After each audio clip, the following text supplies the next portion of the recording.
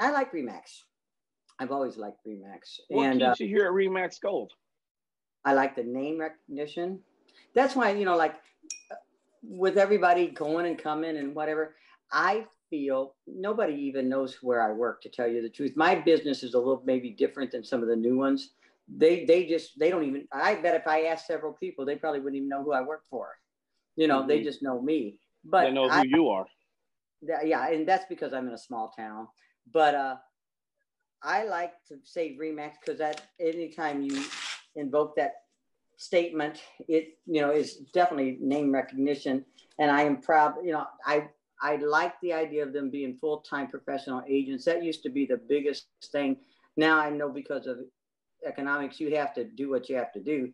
But majority of agents are going to be a pretty, to me, a class above most of them. Okay. You know. Here's a bonus question for you, right? Uh oh. What are your thoughts about our RE/MAX Gold culture? I, I will be honest. I have really enjoyed Lynn being on a hands-on broker. I, she's very knowledgeable. I've gone to her several times on questions. You know, you think you know the answer, but it's always good to hear it or hear a so different support. You have support. And, and I really do because yesterday I called her on a COVID thing, and uh, she's always available. She's always willing to help. I, I really like Lynn a lot.